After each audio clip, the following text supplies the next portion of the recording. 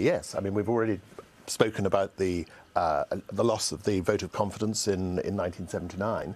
The Geoffrey Howe speech was another of those amazing moments. But I mean, I go along with Chris, although you know his typically understated views about Margaret Thatcher. I try my best. I don't quite don't quite go there, but um, I, I, think it's the one of us that was my problem with with this book because um, Harris uh, was speechwriter, advisor. Um, sort of partial ghostwriter of the autobiography. And he keeps on popping up in footnotes, which I, I must say I did find quite annoying that the uh, the course of events is outlined in the page, and then, wow, there's a footnote saying, oh, and I was there at that meeting. And it slightly, it robs the book, I think, of objectivity. A, a lot of credibility, I would say, because he's also puts in really waspish remarks, which I don't think um, uh, he seeks or indeed succeeds in justifying. I mean, on the, the Howe resignation speech, he says it was a better performance than he usually managed. Yes, that's Which right. I thought was catty in the extreme, but it was just another throwaway. At one point, he says um, Heseltine's pride was as swollen as, as his ambition. And I think when you've got that sort of thing uh, just coming up oh. as obiter remarks, it, it it robs all, all those, all those phrases about the Labour Party wound me, me up even more because there's similar sort of stuff. But actually, there's another detail I thought he left out, which which often gets left out of the story of the of the vote in 1979, the vote of no confidence. There was a strike in Parliament at the time, so no catering staff were working in Parliament. There was no food to be had anywhere. But the Tory Whip's office had got this sorted because they got in loads of hampers from Fortnum and Mason to make sure that their colleagues stayed for the vote. No, Chris, I simply don't remember that. well, you probably weren't in the Tory Whip's office. I don't know, but I will. Well, the word, you know, the jungle drums at uh, in the House of Commons, they beat very loudly. There were bits in the book that I found I just simply didn't agree with, and from somebody who purported and who claims both in the frontispiece and on the back of the dust jacket to be so close and to be the nominated, the anointed autobiographer. I found this quite odd. For example, when Robin Harris said. Mrs. Thatcher wanted out of Europe completely when she signed us in. Mm and then that she, she did absolutely nothing for. I mean, although she did at one point joke, "What has feminism ever done for me?" To say that she did nothing for women and the role of women in, in Britain is, is is just so dismissive of her achievements. And then this other. That was the bit I, I did agree with. I'm afraid. yes, but even even just by her example, you know, we can't go through all that again because we went through that when she died. But then this bizarre passage towards the end when he says she was in fact a cavalier rather than a roundhead. And I'm not sure that rang true that she was very pro monarchy and aristocracy and field sports. I sort of feel I didn't summarise what Mrs Thatcher was. No, I think there was more of a revolutionary well, in her. Yes, yes, exactly. Yeah. Well, there were some interesting contrasts. I mean, he, he notes that in 1974 she was perfectly happy about government intervention to keep the mortgage rate down, yes, which I thought was quite an interesting uh, aperçu. Uh, Chris talked about luck. Um, there's one uh, episode which is really downplayed in the book, which I know something about, which is the whole Westland affair. Mm. And he says, oh, it didn't matter. It didn't matter. she thought that it could be the end of her premiership. And I do know something about it because I was clerk of the Defence Committee at the time and I wrote the report. Um, and she was lucky twice because not only was the, were the events of the Westland affair compartmentalized, as it were, politically, but also when the Defence Committee's report came out, and it was uh, it was very care- I can tell you long hours of writing and reviewing the evidence, but it was very carefully evidentially based. Um, that was another moment of hazard, and had the opposition of the time mounted a more effective attack on her, I think that luck would have been shortened. I'm not saying it would have run out. I think it's one of the things I generally feel about quite a lot of political books, which is that um, the, the chamber, the drama of the chamber, is rarely rendered either accurately yes. or emotionally effectively. Yes. Um, I, I, think that's also true, actually, of, of, television news and all the rest of it. Uh, um, but I can think of so there. many moments. Yeah, there, there are so many there. moments where you sort of had to be there to mm. be able to write that, um, and then, but then maybe you're so involved that you can't write in an unbiased way. Mm. But does Hansard doesn't even convey the drama of the chamber. It actually just deadens it, usually, doesn't it? No, but there's a great moment, yeah. uh, not in this book, completely different era, in fact, um, but when Asquith is addressing the House of Commons and the key debate on um, the uh, on the in the battle between the House of Lords and the House of Commons on um, the 1909 budget it is absolutely. We know now from Churchill's letter to his wife and Lloyd George's letter in Welsh to his wife Yeah. that Ch- that Asquith was completely and utterly drunk, drunk as a skunk, uh, and, and you had to be taken out of the chamber and didn't vote that night. That's However, fine but if you look at Hansard, it just says Balfour says something along the lines of, "I'm glad he tried to speak to us this afternoon," and, and, uh, but he used a very odd tone and things like that. So afterwards, you could you could read Hansard. What's the and- Hansard euphemism for drunk? Is there one? I, I, Oh, well, no, because Hansard doesn't, it's doesn't verbatim. describe people's deportment, No. as it were. But, I mean, not for nothing was Asquith's nickname Squiffy. Yeah. Um, and, Where of the course, word there is the great, the great story Yeah. of Asquith making a two-hour speech on the licensing laws, Hansard sending down for his notes, and up comes one piece of paper which says not so many pubs on it. well, we've got to move on at this point, uh, and we've got to turn now to Rachel's choice. And, and you've chosen the final volume of uh, Tony Benn's yes. diaries, A Blaze of Autumn Sunshine. Now, is, is this the, uh, the fascination of, of one emerging political dynasty with another here? Oh goodness, no! Come, no, I mean, I, I, I've written two volumes of diaries myself, which I wouldn't dream of plugging here. But um, I'm very. Go no, no, on, no, no, go no. on. Yield to temptation. We're not going to plug No, no, I'm not going to. Have we plugged them Because enough for you neither of now? them are very political. Um, but I think that the diary form is. I think it's. He's a great diarist, and yeah. and it's. One, I, in a sense, I picked this because this is going to be his final volume. He's signed off now. And it, I've chosen this for, for that reason. I think it's a lifetime achievement pick, and also because he and he lives in the same semi-sheltered housing block as my mother, and I think that there's this lovely um, connection there, which is Tony Tony Benn, you know, this great, you know, old Labour Labour movement figure whose career has spanned, you know, almost a century now. He's 90. They're above. You know, the Tory Mayor of London's mother, and there they are having their mince pies together and their mulled wine and, and shooting the breeze about, you know, why Ken didn't make it as mayor. Anyway, so I've picked this because it's very pleasurable reading mainly, I think, because of his hatred for Tony Blair. So John Rentoul has got his work cut out. I mean, if more people read Tony Benn than John Rentoul, um, he literally hates the man. He says the man's a menace. Um, he says he's undermined the whole Labour movement. He, he clearly makes Tony Benn's flesh crawl, and he regards him as entirely responsible for the mess we're in on Europe, on civil liberties, on Iraq, on, on various other things. And when I, he really does not mince his words which makes it a great read. It's also a very personal book. Obviously, it's a diary. You have the sense of him sitting in a chair at the end of the day with this dictaphone and basically wrapping up his day. He, he's brilliant on sort of summarising world news. He'll say the big news of today was this happened, or, you know, this ghastly Tory was elected mayor, and, you know, it's all over. And then there are lovely touches, like he says, "Well, these are the old, these are the ramblings of an old man approaching midnight," and I think that sort of sums up the book. It's not the ramblings of an old man approaching midnight; it's the ramblings of a great political figure who's going to go down in history as he signs off, really. And I think it's really worth a read. And he's got this slightly odd transformation that's overtaken him from the, the years when he was kind of the demon king of British politics, reviled in most of the press.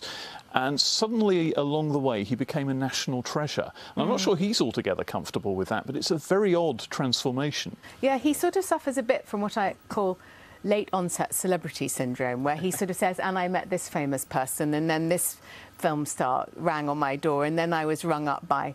Uh, he's got, various obsessions, um, that Natasha Kaplinsky and Saffron Burrows, and sort of, you know, Bianca Jagger. You know, these, these people But doesn't pop up time after time in the diary. I thought the very first sentence of the book sort of slightly gave that away.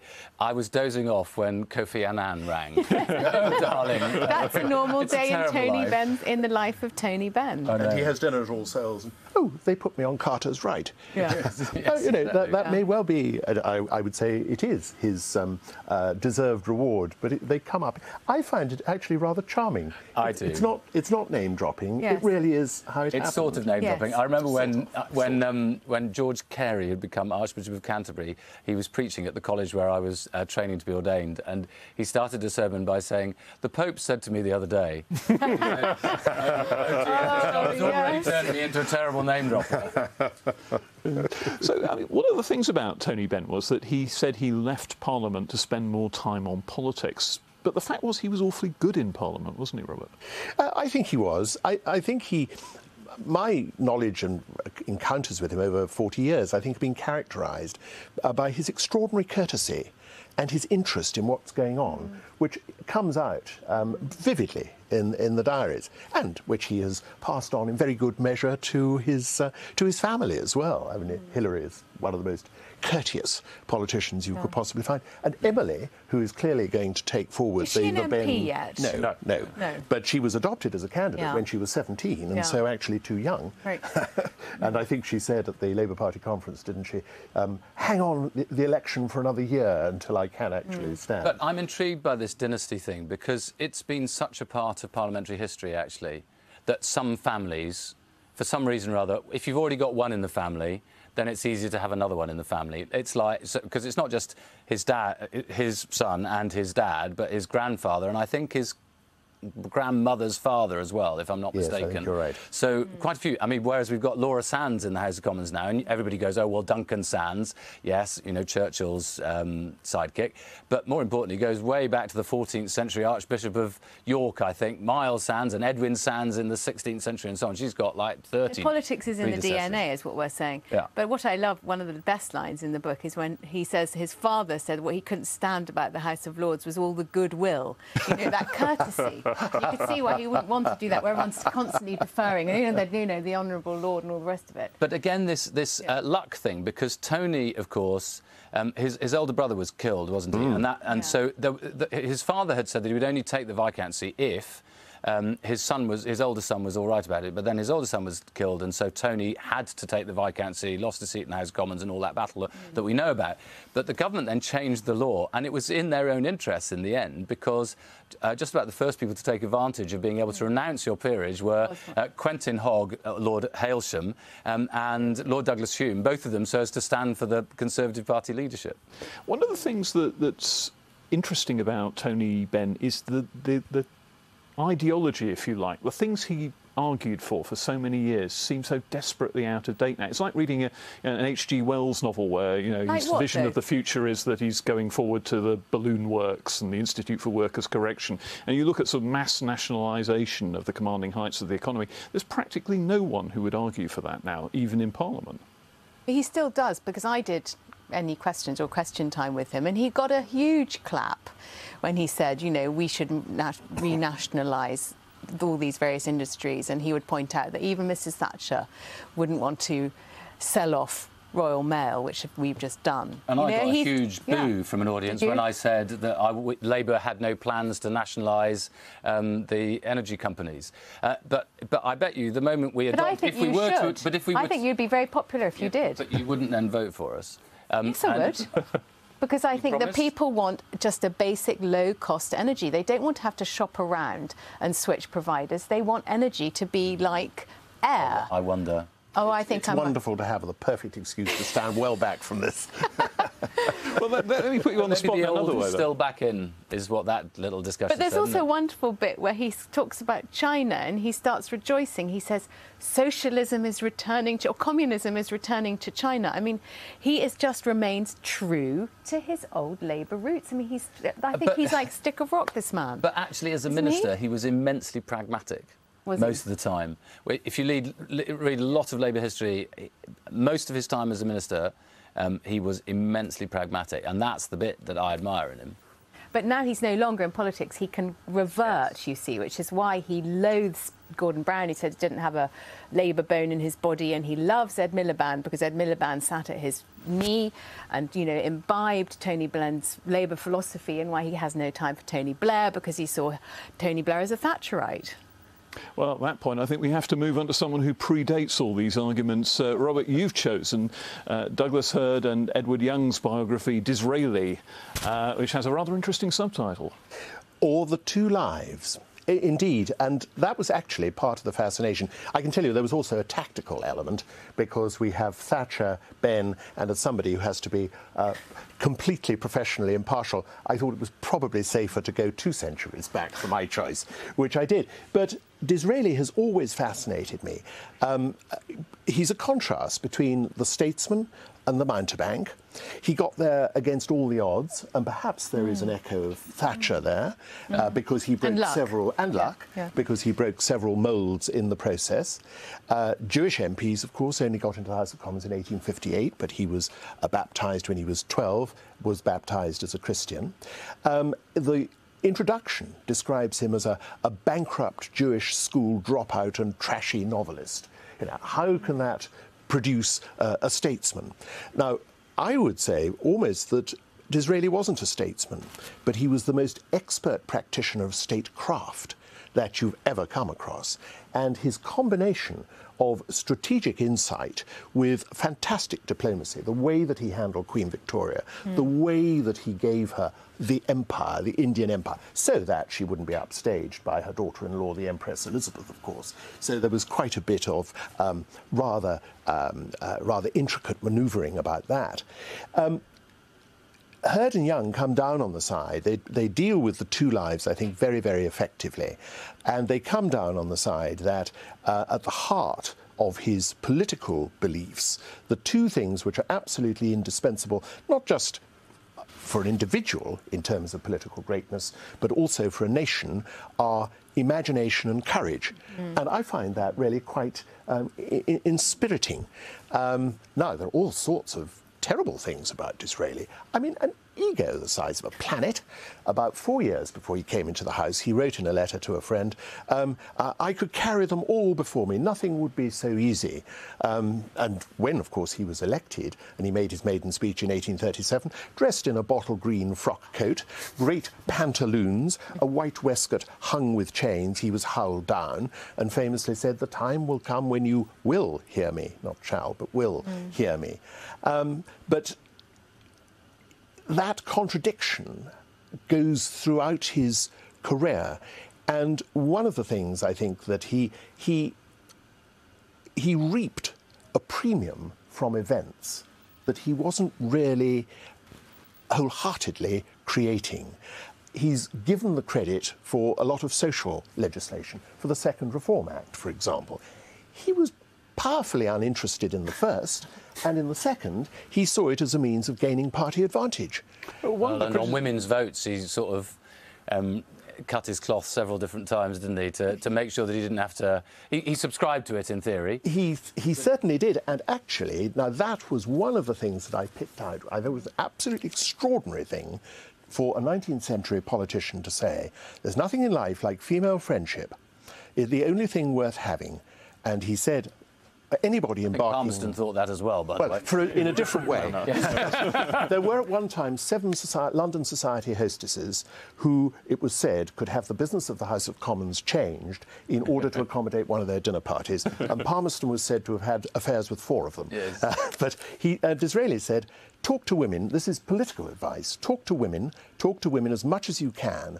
This is the best school. This is the way to gain fluency.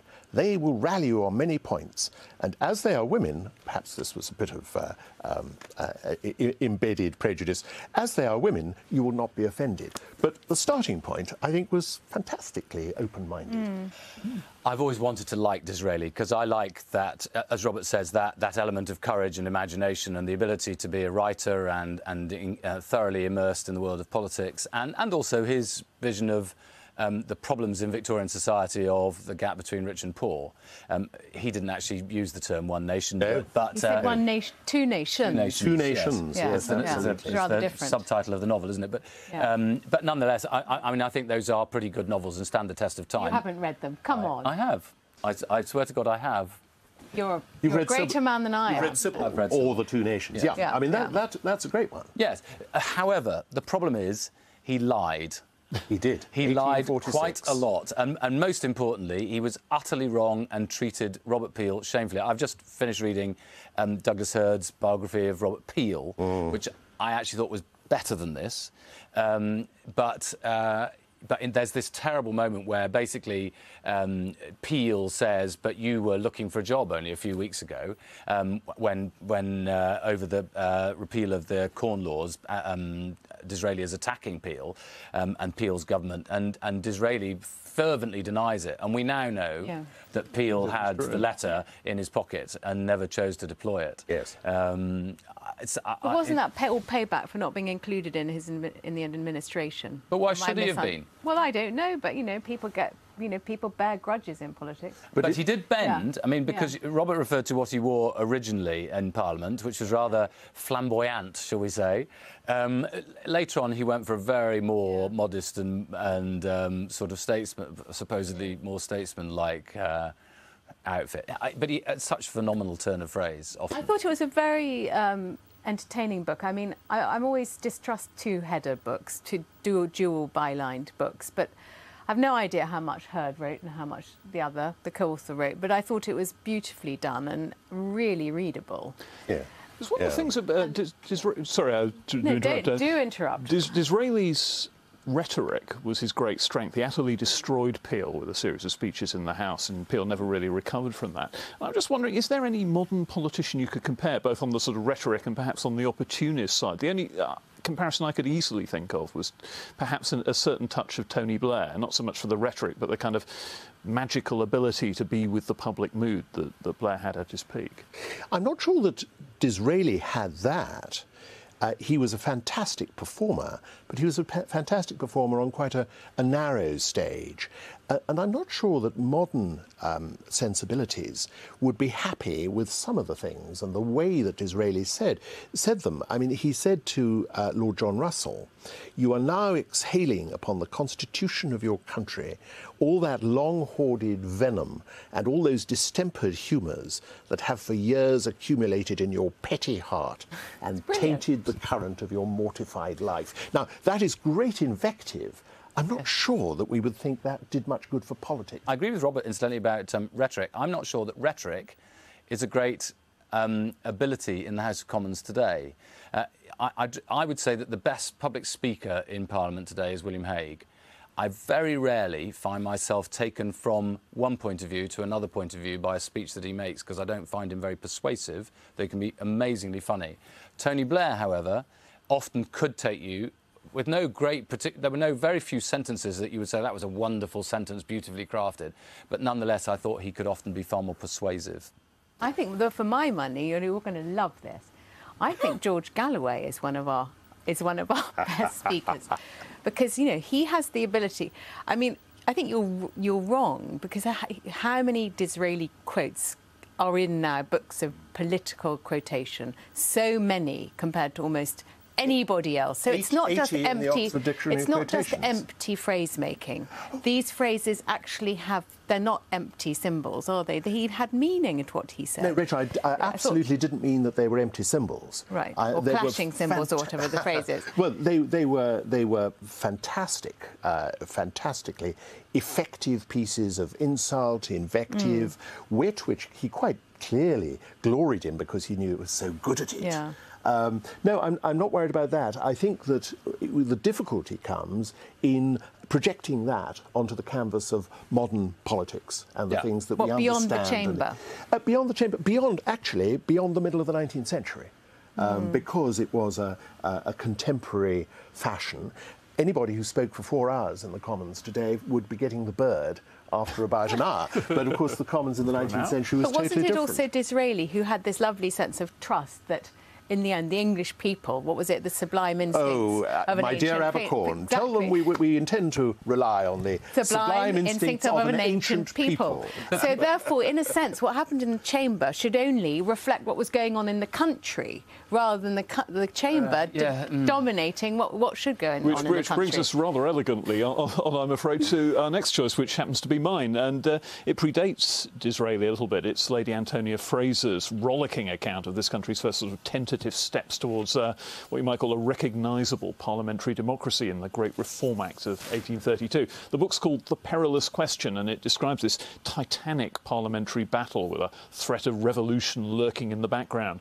There's a marvellous moment where Lord John Russell, one of the central figures in the drama, reads out to Parliament the list of common seats to be abolished, to the very MPs who are going to be abolished with them, and they're all there sitting across the chamber with their arms folded as he pronounces a kind of political death sentence upon them. That's one of the many, many moments of considerable drama in this tale because there was a sense that the country was teetering, as it were, on the, on the brink of a bit of an abyss. I mean, Chris, you're, you're a historian of Parliament. What did you make of uh, this tale? Uh, well, again, another vote won by a single vote, isn't there? The first um, Reform Act is carried by a single vote in the House of Commons. Everybody, and of course, in those days, it was the old House of Commons before the fire, so voting is a completely different system um, where the ayes go out of the chamber and um, the noes stay in, um, and then they're, they're counted, back, the, the ayes outside are counted and the noes inside are counted. Um, and incidentally, if you, you had to be in the building, Otherwise, you weren't allowed to take part in the vote. And if you were in the building, you had to vote. There, there are occasions later in the 19th century where people tried to hide um, because they didn't want to be counted on either an aye or a no, and they were forced um, into one of the into an, uh, being an aye or a no. Um, so some of that I think is, is rendered very well, and um, that, that goes to my argument that a lot of British history is not actually some great tide of history that was inevitable, but uh, an awful lot of luck. Um, uh, all along the way. My favourite example of which is 1713, when people tried to uh, remove all ministers from the House of Commons. Um, it would, the bill was just fell because it got to third reading in the House of Lords and it was, it was a draw. Um, otherwise, we'd have been like the American system, withdrawing, taking the executive out of Parliament. Um, so I liked all of that about it. There are bits which I just think are wrong. Um, I don't think she understands how the House of Lords worked in the 19th century um, um, uh, very well. Um, some of the characterisations of individuals, I think, are a little bit uh, wobbly. And I, I, would have liked to have seen a bit more of the role of the bishops, actually, because in the House of Lords they were a substantial body. When the, I think it's the first reform bill loses by 41 votes, if the 21 bishops had voted the other way, um, then it would have been carried and we wouldn't have had the massive confrontation that there was. I found uh, it, it was, it's anecdotal, it's gossipy, nothing wrong with that. Sometimes I think she finds it very hard to control the material and you slightly lose the thread. Chris is absolutely right about not understanding how the House of Commons worked. With the first reform bill, the, the big debate on which there was not a division was seven days on the motion for leave to bring in the bill, which is, was the start of the legislative process in those days. You only see it these days as a 10 minute rule bill. But she misses that out completely. She calls it first reading and passes over it rather quickly, but it was actually an extremely agonised and extremely important um, set of exchanges. And then she concentrates on second reading. I was really sorry that on second reading, she, the, on the vote, she didn't use Macaulay's fantastic description of what it was like with the tellers coming back into the he chamber. He was in there as an MP himself. He was indeed. The jaw of Peel fell, and the face of Twiss was as the face of a damned soul. and uh, he, he's, he, and there's there's much more, but she, she doesn't use that, unfortunately. She is very good, yeah. I would say, about the world outside Parliament um, affecting what was happening inside Parliament and the petitions that were pouring down on yes. the House of Commons and the House of Lords yes. and all and, and, the whole sense of there being a world out there um, which did infect um, what was happening politically, uh, uh, not least because people's houses were having their windows smashed and um, bishops' palaces being burnt down and, and you know, the, the, mm. conflagration in Bristol and so on. And one of the funny things about it is that to some extent it was framed as a struggle of the peers versus the people, but actually the, the Whigs, the party who were in power, who were promoting all this, were actually rather grander and had more aristocrats, really top aristocrats amongst them, than did the Conservatives. I mean, that, that strand of, of aristocracy in politics is one of the most interesting they things. Had their own sort of costume, didn't they? Wear a special blue jacket, didn't yeah. they? The Whigs wore and wore buff waistcoat. And buff yes. waistcoat. I mean, I felt, I don't know. I mean that I wish that she had, in a sense, written this after the Tories failed to get their reforms through the House of Lords recently, because how we are still, how Parliament, how the outcome yes. of, oh, of yes. elections is still can be determined by great reform bills or the failure of them to pass because, you know, many people are saying that, you know, the Tories now can't get a majority because we didn't get the boundary changes through the Lords. So therefore, this comment. notion of, you know, who is returned to Parliament is still an absolutely mm. critical factor in the determination of the nation. But this family thing, yeah. you're absolutely right about the Whigs, because so many, he, she calls them the, the cousinhood, doesn't she? The, the Whig cousinhood, because uh, uh, people will get me, uh, correct me if I've got this wrong. So, um, in Grey's government, you had um, his two sons-in-law. Um, and what, actually, one of the key moments, which I didn't know about, to be honest, is Grey's grandson's death. Yeah, yes. one Boy of the key red. moments. Boy in red. Yeah. Yes, uh, which is which is it reminded me again of Asquith. Actually, uh, you know, in the in the First World War, it's only a few weeks after Asquith's um, oldest son Raymond dies that he is evicted mm. as prime minister, and maybe Churchill and Lloyd George felt they were able to remove him because he was emotionally so crushed. And, and I think the, that interaction of the deeply, deeply personal. Um, with the like Durham clearly goes bonkers at one point. Um, yes, that interaction, the deeply the personal and political, is interesting. I we, find we, we, we, do, I fear, have to move on at that point because the clock is ticking upon us. And so, uh, just as a final note, I wanted to get each of you just to, to add a stocking filler, just in case some of our viewers have read every one of these books and are hoping against hope we'll recommend something else as well. Uh, Chris, what have you got for us? Uh, well, I read a novel on holiday. I love reading novels on holiday. Eduardo Mendoza. It's in translation from the Spanish. An Englishman in Madrid. It's set um, just before the Spanish Civil War, and it's fascinating. It's got art, it's got humour, it's got politics, it's got the drama of a fascist government. Uh, it's, it's a fascinating read. Rachel. I'm too embarrassed. but I think I am going to recommend my own diary, as I didn't, as I didn't plug it at the beginning. I would like to commend to all viewers the diary, a diary of the lady, which is my account, my turbulent account of my struggle to dominate a small circulation weekly magazine with the premises in Covent Garden, London. Ah, and Sir Robert. Well, any suggestion I can make can only be an anticlimax after that, quite frankly. I've, my stocking filler, and it will have to be quite a capacious stocking, is the blunders of our government, governments which is a quotation 18th century from the 18th century burgeoning American state. But it's a story of cock-ups, but cock-ups from which the That's authors... Parliamentary, you can't say that. we won't go there.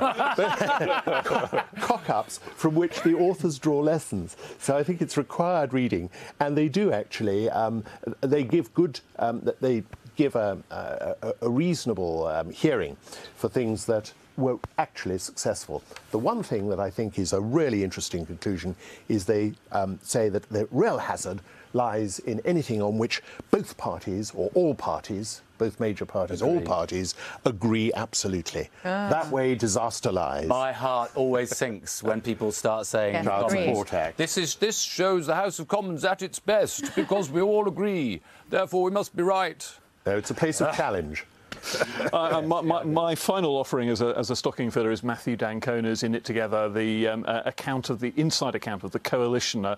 It's, it's, got a certain flavour of this is what my mates who I was at university with told me about what was really happening in government. And perhaps it doesn't quite have some of the wonderful inside stories that Andrew Rawnsley's insider accounts uh, brought out from, from the Labour years. But then I don't think the personal politics inside the coalition is anything like as gaudy uh, as New Labour's. The Andrew Adonis book about the creation of the coalition, as it were. I think oh, that's oh, yeah. a fascinating yeah. uh, little, and it's not a big book either, uh, which is a great advantage for a stocking. a nice seminal book to finish with with. And it only remains for me now to uh, finish my uh, finish this programme by thanking all my guests for, for coming along. Uh, Sir Robert Rogers, Rachel Johnson, and Chris Bryant. Thanks very much indeed for joining us, and a very merry Christmas to all our viewers, and a thoroughly literary New Year.